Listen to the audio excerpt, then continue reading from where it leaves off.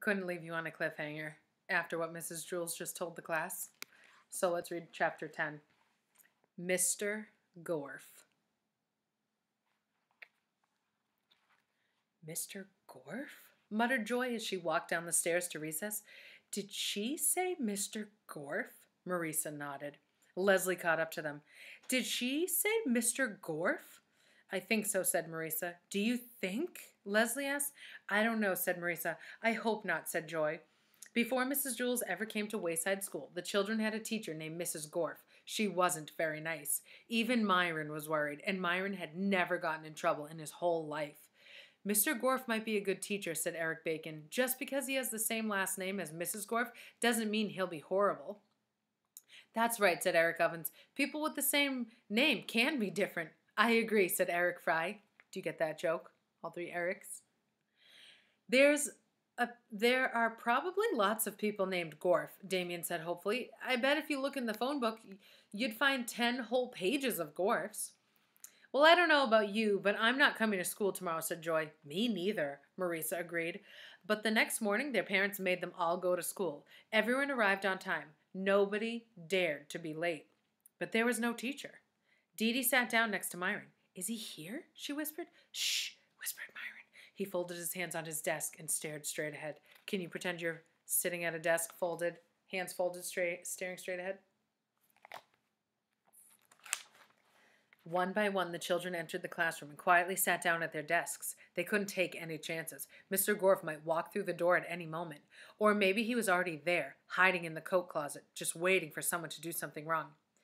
I didn't want to come to I didn't want to come today, whispered Calvin, but my parents made me. Shh, he might hear you, said Bebe. Mr. Kidswatter's voice came over the PA system. Good morning, boys and girls.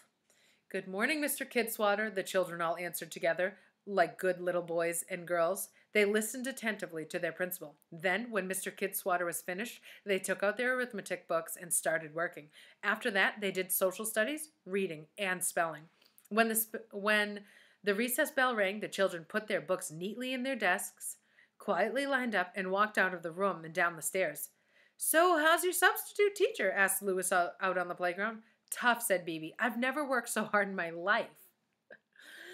I did more work before 10 o'clock than most people do in a day, said Calvin. But he's very fair, Myron quickly added, just in case Mr. Gorf was listening. He might have been hiding in the bushes. Yes, he's nice and fair and a very good teacher, said Jenny.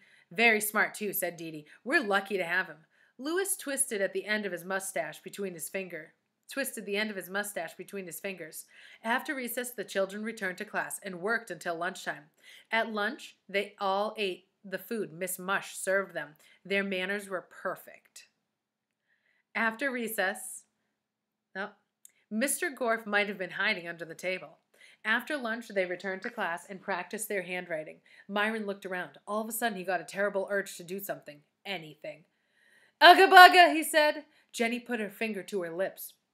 Biff boff boof, said Myron a little louder. Shh, said Jenny. Myron stood up. No, he shouted. I don't have to be quiet. Everyone tried to get Myron to hush up. Myron climbed on top of his desk. Look around, folks. There's no teacher. We're doing all this work for nothing.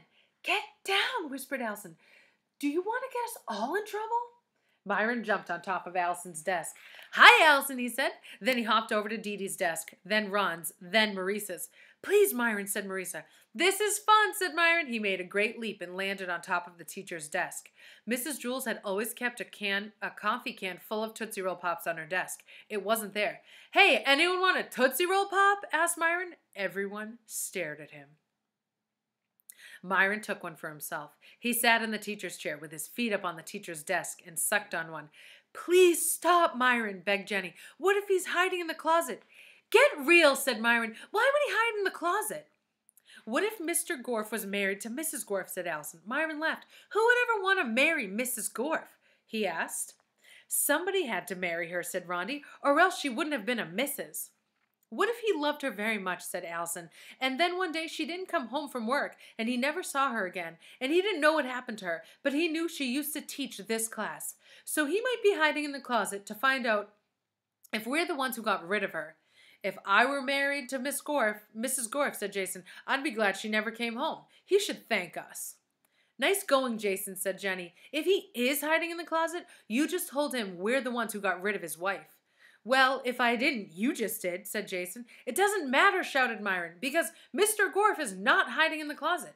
Myron went to the back of the room and opened the closet. A man stepped out. Thank you.